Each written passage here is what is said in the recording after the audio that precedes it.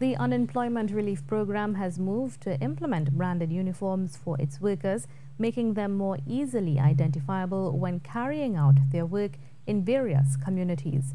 Workers were spotted along the Lady Young Road on Tuesday morning, clearing the roadways as part of the program's ongoing drive to clean up communities across the country.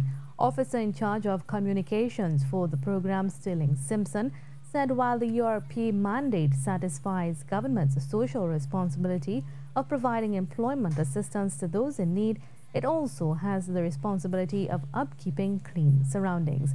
But this, he said, is a role that must be shared by each and every citizen, as he said each person plays a part in keeping the environment clean you put things in trash, or whatever the case may be, or you recycle. But when you litter and when you have the, that the rainy season is going to be upon us soon, then we have to come out, as we always do, URP that is, and clean up the drains and all the other places that are affected by flooding and all that stuff. So we need to be mindful of the um, environment.